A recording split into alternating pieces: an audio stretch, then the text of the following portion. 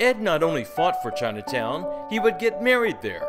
On June 20th, 1980, he and Anita exchanged wedding vows at the Salvation Army Church on Powell Street.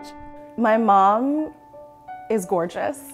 She, you know, she's gorgeous today and in her youth was, you know, uh, beautiful. And she really could have dated anybody, I feel.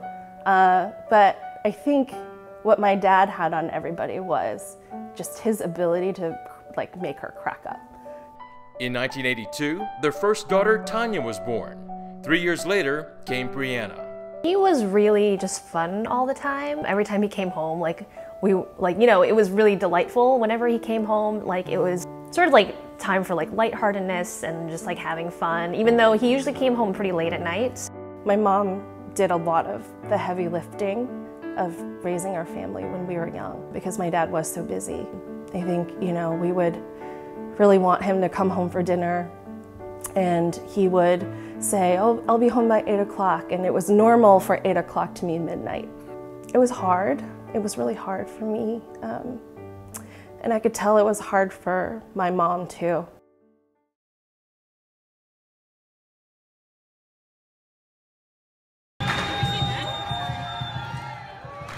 While a fourth of San Francisco's population is Chinese, it had been woefully underrepresented in city politics.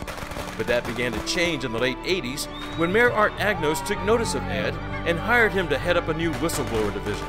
And I knew when I became mayor that it was no longer going to be sufficient to recognize the Chinese American community by coming to Chinese New Year's dinner parties, saying Gong Hai Fat Choi, and taking a few pictures and leaving. That was the old world. And the new world that was represented by Ed Lee was we had to be far more proactive in empowering the Chinese community. And we all knew that it would not be long before there would be Chinese officials elected in every category. And believe me, from the time of the late 70s to the present day, that's evidenced itself. None more dramatic than Ed Lee's ascendancy to one of America's most significant cities, San Francisco.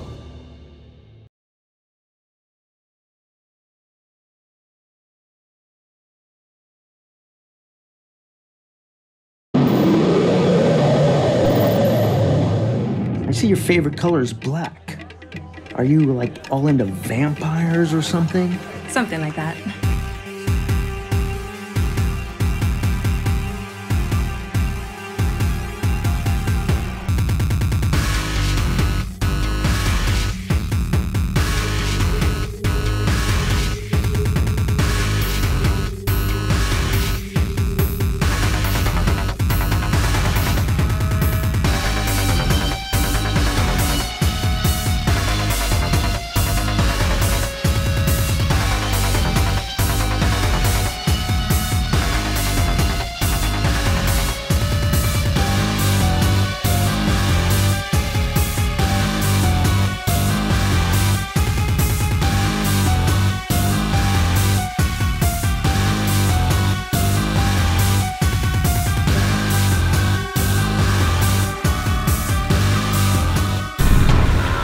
You come to daddy.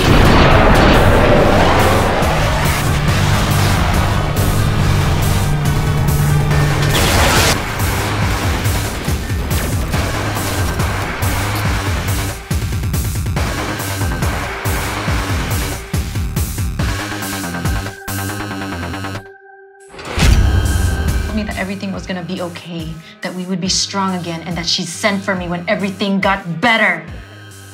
Was so long ago, I just thought she was dead.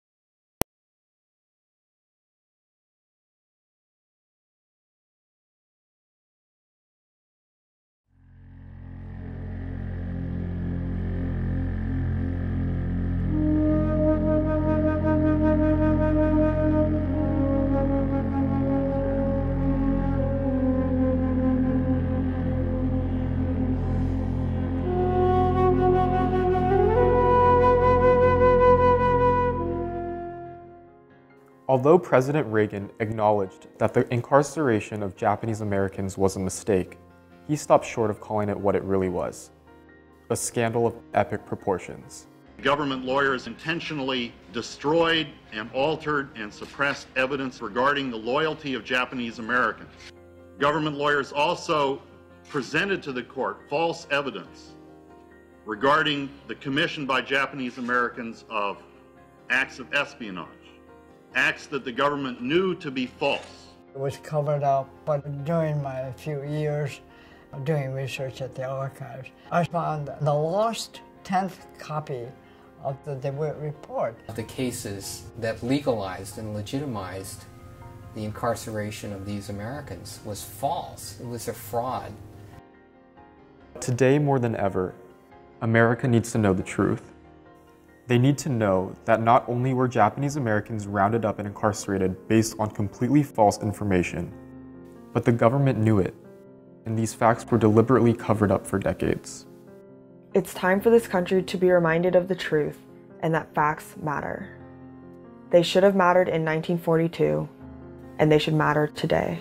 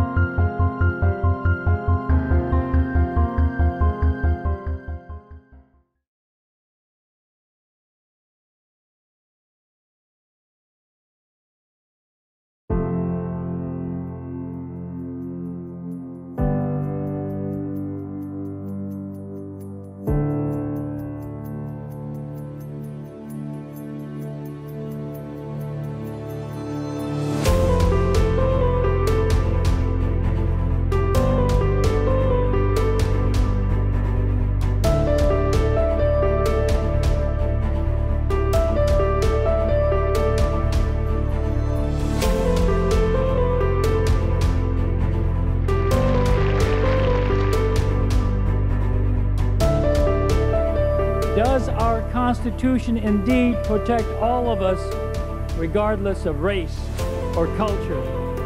Do our rights remain inalienable, even in times of stress?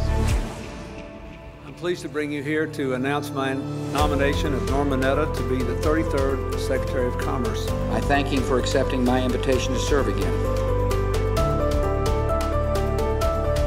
Well, one of the important things about Norm's experience is it reminds us that sometimes we lose our soul as a nation. That the notion of uh, all equal under God sometimes disappears. And 9-11 uh, certainly challenged that premise. And in some ways, uh, Norm's example uh, inspired me. Whereas I didn't want our country to do to others what had happened to Norm. My goal was to be visionary in terms of where are we going in the future and how do we get there.